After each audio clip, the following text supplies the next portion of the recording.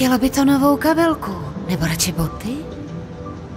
Žena přichází k přechodu a vnímá zleva přijíždějící auta. Jedou rychle, nechává je tedy projet.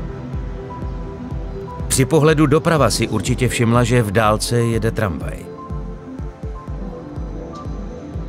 Auta zleva zastavila a dávají ženě přednost. Může tedy přejít.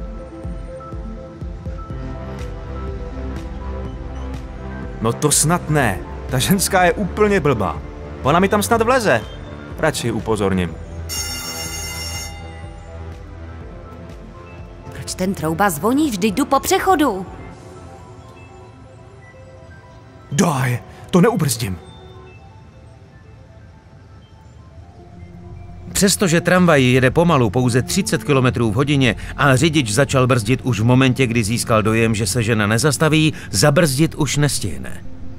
V tento moment je vzdálenost ženy od tramvaje 7 metrů. Pokud žena neuskočí, je srážka nevyhnutelná. Při této rychlosti je brzdná dráha tramvaje 21 metrů. Kdo je vyníkem této nehody? Jak měla situace vypadat?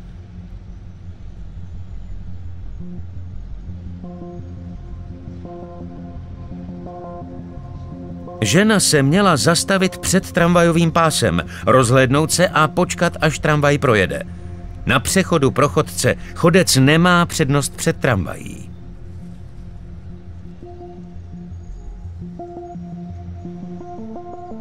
Až tramvaj projede, přesvědč se, že nejede další. Potom můžeš bezpečně přejít.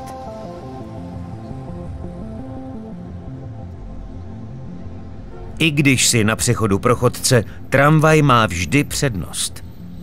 Dávej pozor, pohybuješ-li se v provozu, kde jezdí i tramvaje.